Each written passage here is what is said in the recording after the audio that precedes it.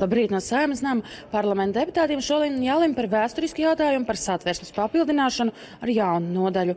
Kas tā būs un kādēļ ir svarīgi šie nodaļa vaicāšu Sēmas juridiskās komisijas vadītājai Ilmai Čepānei. Labrīt! Labrīt! Un sakiet, kādas izmaiņas ir gaidāmas satversmē? Es gribēju teikt, ka tā nav jauna nodaļa.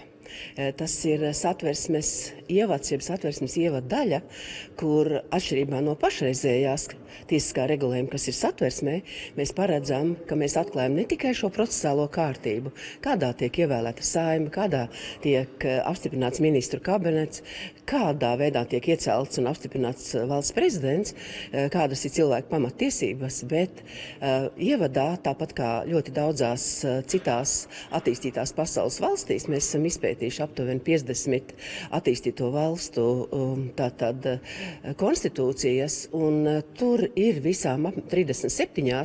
ir šādi te ievadaļa, kas raksturo valsts jēgu, nozīmi, vēsturi uh, un turpmākos uzdevumus.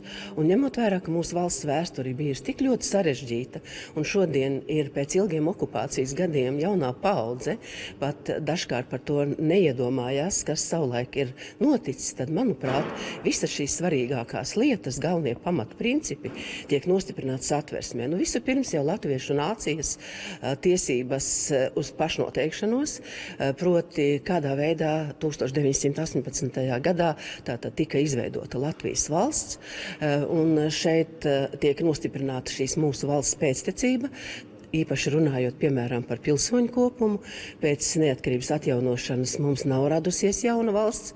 Eh, mēs esam tā pati valsts, tātad šajā gadījumā mēs nevaram, ja šāds ievads būs eh, satversmē, runāt par pilsonības nulles variantu.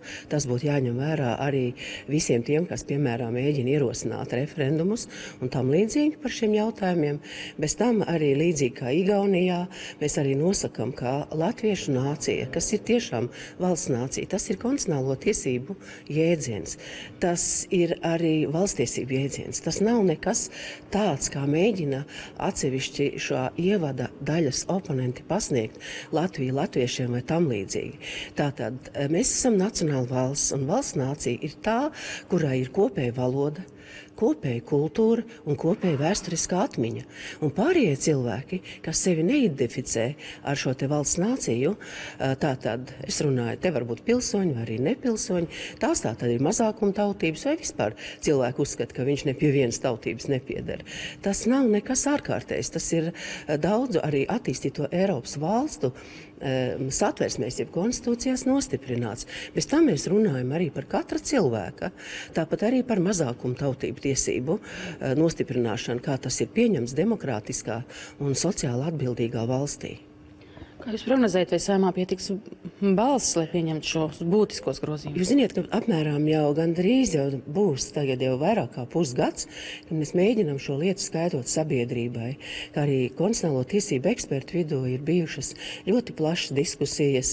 Bīriņu pilī mums vasarā sanāca visspēcīgākie konstitucionālo tiesību eksperti, jo šeit vislielākais nopelns ir Levita kungam, kas analizē citu valstu konstitūcijas, uzskata, ka šajā periodā pašlaik mums patiešām ir ir nepieciešama Latvijā šāda ievada daļa. Tad mums ir bijusi starptautiska konference. Kā jūs zinat, arī juristu vārdā ir visas šīs diskusijas arī publicētas. Un es domāju, ka šodien arī Zaļo zemnieku savienība piekritīs arī šī jautājuma risināšanai, vismaz nodošanai komisijā. Un, manuprāt, pilnīgi nepamatot tiek tiražēts viedoklis, ka saskaņas centrs ir atbīdīts no šā projekta izstrādāšanas. Es gribu teikt, ka katram deputātam, deputātam deputātu grupai ir tiesības izstrādāt savus likumprojektus. Un šeit mēs parasti praksē ir tā, ka mēs nepieaicinām, mēs neesam pie, mums nav pienākums pieaicināt šajā izstrādes procesā, kamēr tas likums vēl nav nonācis, likumprojekts nav nonācis saimā, kādu citu partiju uh, deputāts. Tāpat kā saskaņas centrs nekad nav mani pieaicinājis kāda sava likumprojekta izstrādē. Un visi šie meli uh, un šīs mīti tiek izplatīti, un dažkārt arī plašsaziņas līdzekļi palīdz viņiem to tiražēt, it kā mēs darītu kaut ko nelikumīgu. Un vēl varbūt arī, kas ir būtisks, vakardienas atvērsmes tiesa paziņoja, ka šī parakstu sliekšņa paaugstināšana referendumu referendumu rosināšanai ir atbilstoši satversmē. Un turpmāk tas nozīmē, tāpat kā jau līdz šim ir bijis likumā, ka vairs nebūs iespēja desmit tūkstošiem rosināt referendumu, slieksnis tiek krietni paaugstināts. Jā, uz 30 tūkstošiem, un ja tā, vakar man bija ļoti laimīga diena.